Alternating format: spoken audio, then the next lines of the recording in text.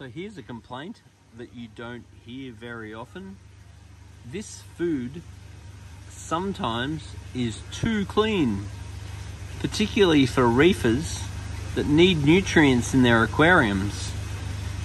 We're getting them onto probiotics because it's such a clean food, but are actually finding that sometimes it's too clean.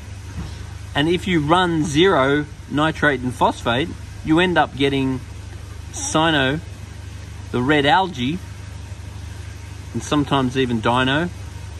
So if you are getting algae in your aquarium and you're getting zero nitrate and phosphate, then it's possible you want to cut down the amount of probiotics that you're feeding because this also has anti-nitrate and anti-phosphate enzymes in them that obviously seem to be very effective. So if you are getting algae in your tank, green algae, or if you have got nitrate or phosphate, I definitely recommend feeding almost exclusively this food.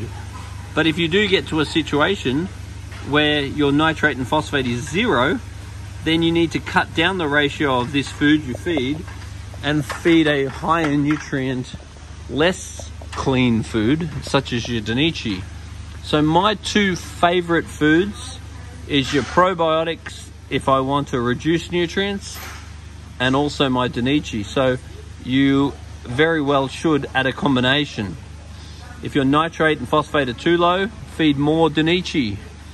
If your nitrate and phosphate is coming up, um, then you want to feed more of your Spectrum's probiotics. Spooky.